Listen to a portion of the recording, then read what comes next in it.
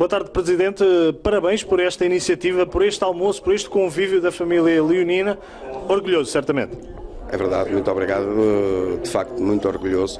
Eh, foi muito bom termos assistido aqui a uma festa bonita, casa cheia, eh, uma tarde de sportinguismo eh, e pronto, tivemos um ano difícil e é bom chegarmos ao final do ano e termos tudo em dia, tudo a correr muito bem, as pessoas a ficarem maravilhadas, empolgadas e foi bom, foi bom, de facto. É a força do Sporting aqui também? É, sim, um bocadinho a força do Sporting, um bocadinho a força deste núcleo que ultimamente tem tido uma grande.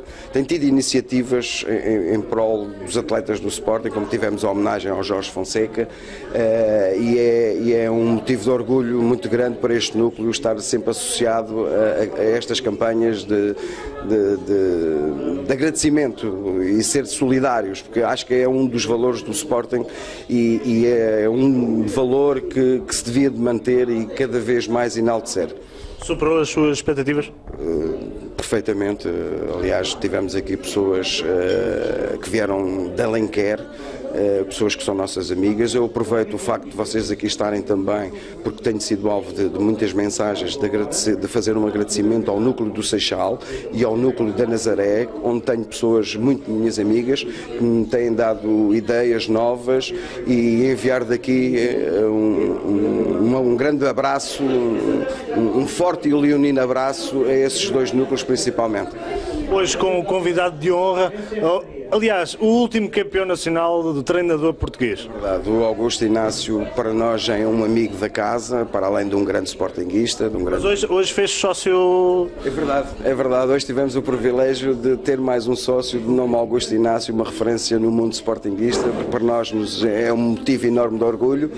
Eh, uma pessoa que este ano já é a segunda vez que aqui está no núcleo e sempre nós lhe pedimos, sempre nós lhe fazemos um telefonema, é uma pessoa que está sempre eh, eh, disposta a, a, isso mesmo, a estar presente junto dos sportinguistas. É um leão de garra. Sem dúvida, muitos mais houvessem como o Augusto Inácio, porque acho que é uma referência do Sporting e atualmente o Sporting precisa de referências dessas. Esta sua atividade aqui no núcleo do Sporting do Cacém, tem noção que fortalece também o nome do clube? Eu espero que sim, o, o nosso modesto a nossa modesta participação que, que ajude a enaltecer cada vez mais o nome, a dizermos bem alto o nome do Sporting Clube Portugal os melhores votos de Natal para esta família aqui, que é a sua, e para toda a família leonina. Muito obrigado, obrigado por estarem presentes na nossa festa também. Já é a segunda vez, já, já, já quase que diríamos que temos uma parceria e desejar a todos os sócios do núcleo e a todos os sócios do Sporting Clube Portugal um, umas boas festas e um próspero ano novo. Muito obrigado. Feliz Natal. Muito obrigado, obrigado, obrigado.